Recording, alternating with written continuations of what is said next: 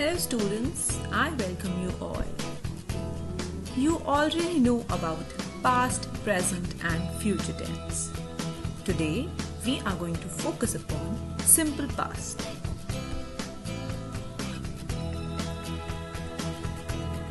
Before we begin, what is simple past?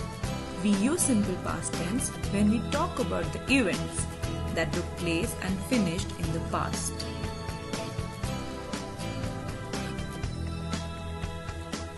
The simple past form of the verb be are, was and were. We use was and were in the place of be when we are to make any sentence in simple past.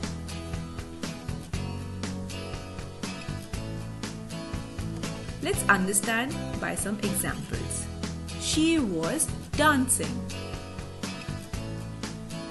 This has already happened. It is a past event. Children were playing.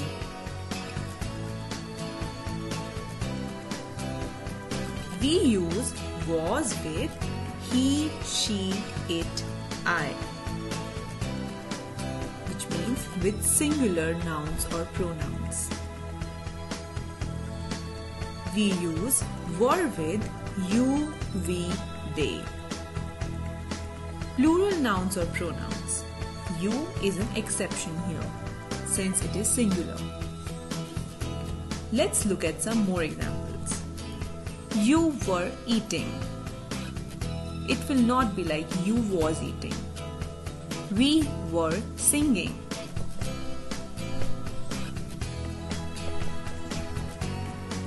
I was sleeping. It will not be I was sleeping.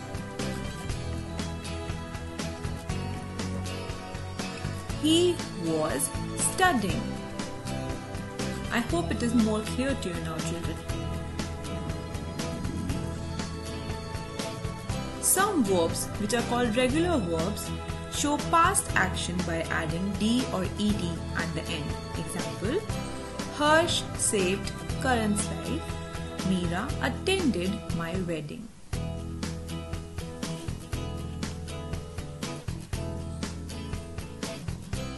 If a verb ends in E, you add D. Example Agree, agreed. Escape, escaped. It will show the past action.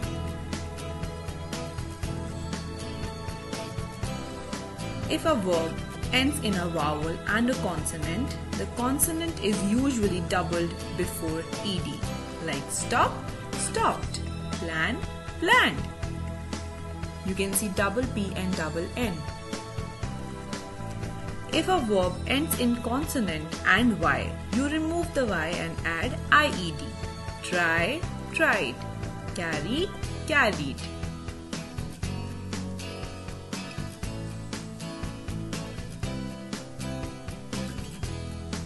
But if a word ends in a vowel and Y, you add ed. Play, played. Enjoy, enjoy it.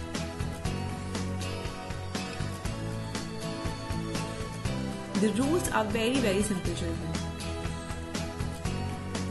Had is used to talk about when we have already done. It is used in place of both has and have. Therefore, it can be used with both singular and plural nouns and pronouns. I'll give you more examples.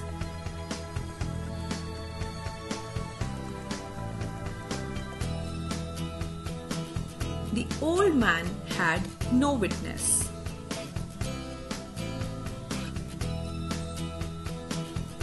He had no pen to write. Seema had a beautiful doll.